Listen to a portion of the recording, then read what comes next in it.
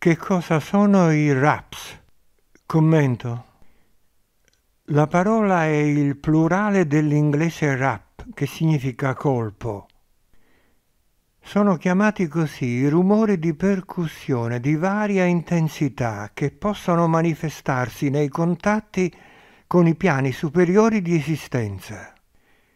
Avvengono senza causa né ragione apparente, in una stanza in cui vi sia anche una sola persona la quale non ha mai avuto esperienze del genere.